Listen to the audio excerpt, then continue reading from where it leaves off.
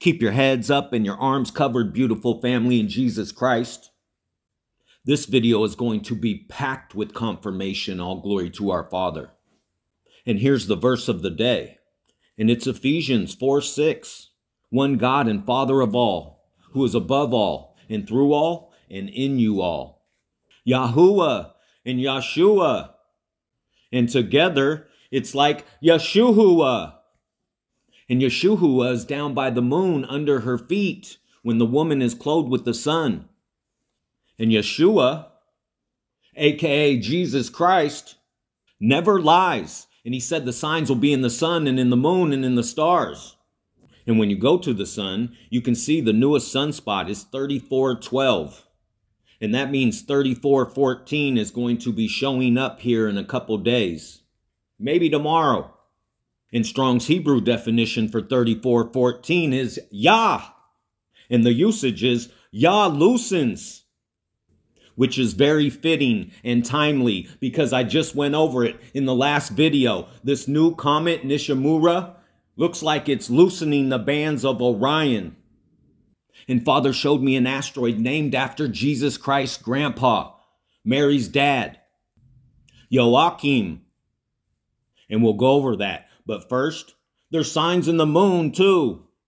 And I've said it many times. Christina had a dream and 725 was there, but no one could find 811. And people were freaking out, panicking, trying to find 811, but they couldn't. And in Russia, at 2:11 a.m. on 8:11, they launched Luna 25. And it's all over the internet. Articles saying that Luna 25 has crashed into the moon. And there's a lot of talk about this Russia China alliance and the heavens declare the glory of God. And the signs are in the sun, the moon, and the stars. And she, being with child, cried in pain to be delivered. And I've been showing you over and over and over that our Father is showing us that the child is about to be born and the water is about to break. And this isn't astrology. This is astronomy. Russia is not a false god. And if one of these bodies in the heavens is a false God, I make it very known that they're fake gods. But this Revelation 12 picture is biblical. And I'm about to show you that the heavens declare the glory of God and that the signs are written in the stars. And as you can see, like I just said, Russia is on the water bearer, what they call Aquarius, right on the water, right next to Saturn. And we just went over it. There's a lot of talk about this Russia China alliance. Well, they're right next to each other in the water bearer. The water is about to break, the child is about to be born, and we're about to be caught up. We are the child family. We're the body of Christ. And now I'm going to show you something extremely gigantinormous and very clear and it's making this Revelation 12 sign, this painting, very clear. And I'm going to play this short clip from my last video, All Glory to Our Father. It's only 30 seconds long. And then I'll show you what happened after I put this video out, pointing to the coming of the just one, Jesus Christ. And you guys already know, before I do the video, after I pray, I ask Jesus Christ to give me something in his word when I open the Bible. And then I read the first thing I see. You already know I've done it many times. And today it was Acts chapter 7, verse 52. Which of the prophets have not your fathers persecuted? And they have slain them which shewed before of the coming of the just one, of whom ye have been now the betrayers and murderers. So after I put this video out that night, I heard Father tell me, go on the desktop and search Stellarium. And I was like, I'm wiped out, Jesus Christ. And I heard, just go do it. And here's what happened. And I went back and started at Hanukkah, just like in the last video when I showed you and walked you through it. And I started going through the days, and then I heard zoom in. So I zoomed in, and I started going through the days. And as I came up on Rigel, I noticed this asteroid Wood crossing the path of Nishimura. And what's gigantinormous about this, and I'll show you, this asteroid wood is not even in the asteroid belt. It shouldn't even be there. So it blew me away. I was like, wow, God, that's amazing.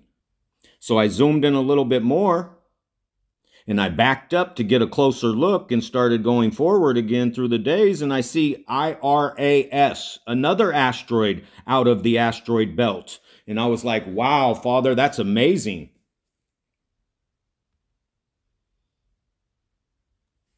And remember, we're talking about loosening the bands of Orion. So the first thing I did was look at the asteroid Wood. And I thought that's exactly what they nailed our Savior, Jesus Christ, to. And I clicked on it. And you already know the meaning of wood. So I looked down and it's also known as 1660 wood. And here's where it gets beyond gigantinormous. Our fathers got jokes. Yes, Strong's Greek 1660, the definition is a coming.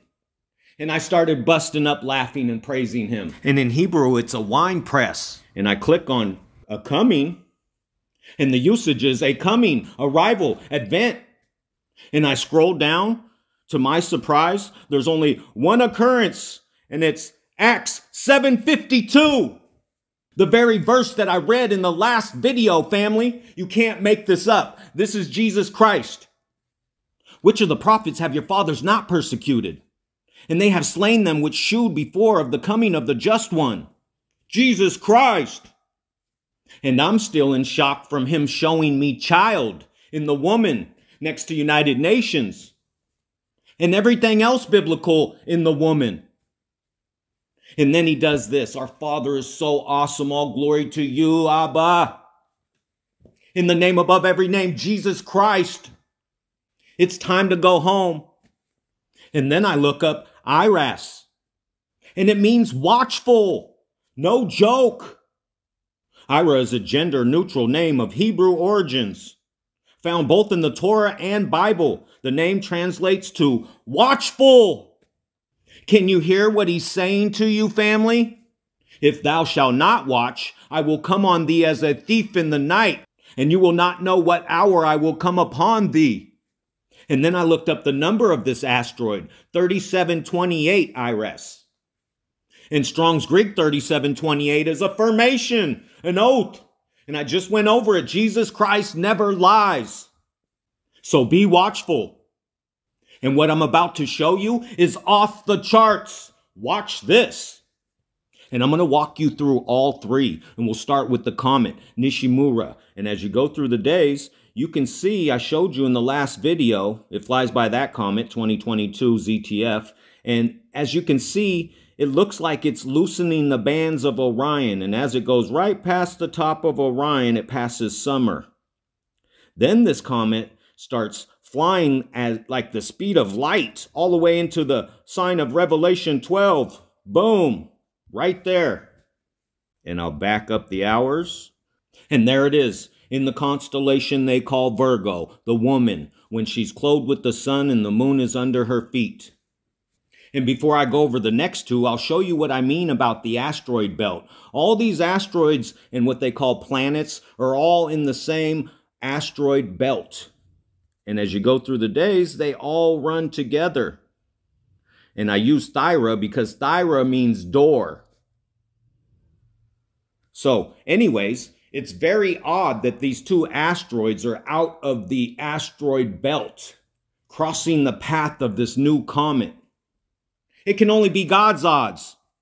And I'll start with the asteroid wood. And remember, it's 1660 wood, and strong 1660 means coming of the just one, Jesus Christ. And as you go through the days, after it passes this new comet, you could see it's moving back into the asteroid belt.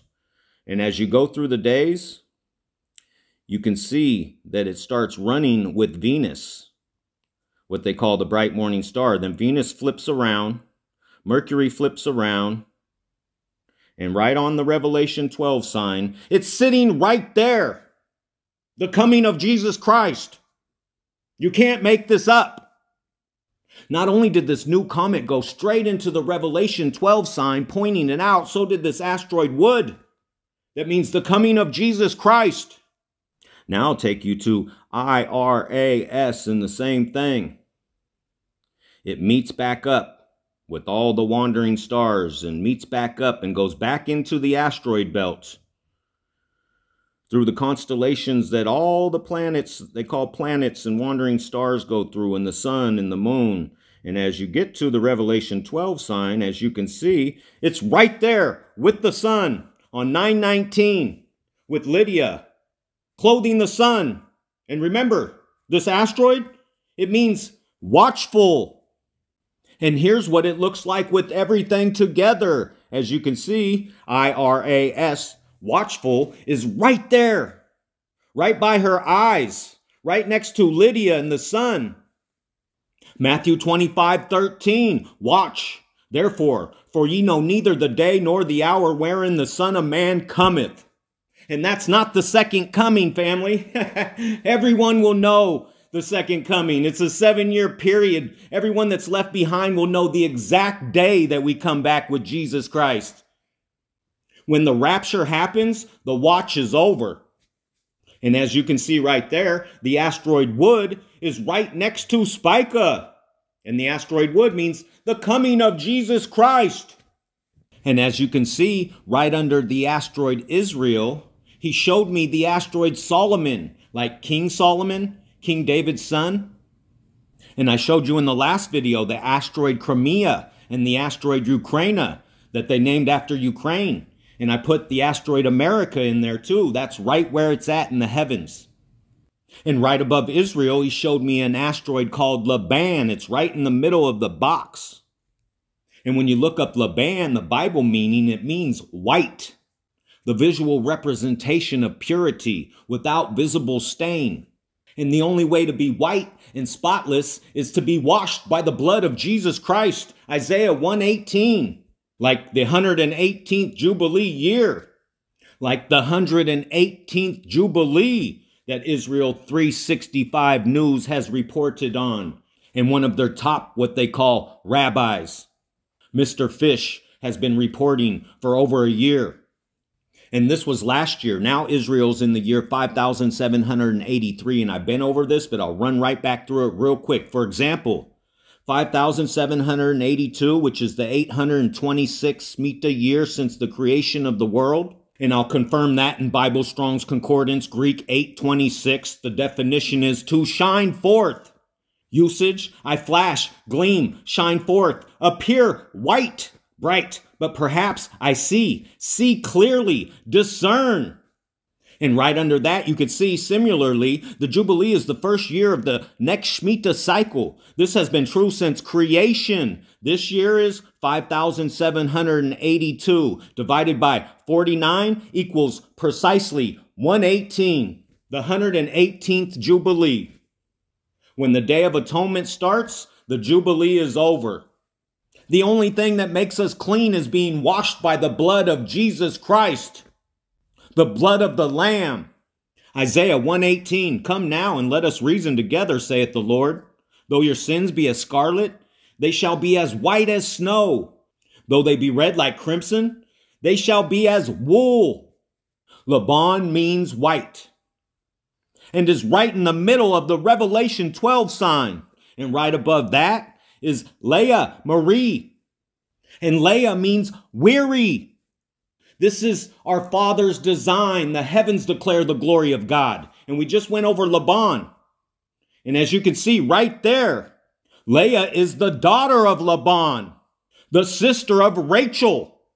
And most of you know this. She was married to Jacob, but he favored her sister.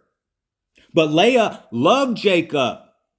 And since she was unable to conceive, she prayed about her situation. And father blessed her with Jacob's first son, Reuben. Then she had three more sons, Simeon, Levi, and Judah. This is our father telling everybody that the birth is about to happen, the child will be born, and Jacob's trouble will start. And Marie, since the name is Leah Marie, and this is all tied together. Marie is from the Hebrew name Miriam, bitter or beloved. And just like Miriam, means Mary. Marie means Mary too, the mother of Christ. So Leah, Marie, Mary, Miriam, they all mean wished for child, family. And that's what we're praying for. For us to be born and caught up to the throne. And it's about to happen. He's coming immediately. All glory to our Father in the name above every name, Jesus Christ. And I'll wrap it up with this last asteroid that's down by her feet, down by Yeshua, down by the shedding of blood, down by the moon. Seraphina. And when you look up Seraphina, the Bible meaning, it means burning ones. And instantly you probably think of hell. But the truth is, Seraphina is a girl's name of Hebrew origin. The name translates to burning ones, or in reference to the seraphim from the Jewish scriptures. The seraphim are the highest ranking angels of God and are known for their intense passion and zealous love. Imagine that, and I'm being filled with the Holy Spirit. All glory to you, Father, in your name, above every name. Jesus Christ, we love you. And there used to be eight but now there's seven. And you know Michael and Gabriel and Raphael. And there's Jeremiel, Raguel, Zerakel, and Ramel.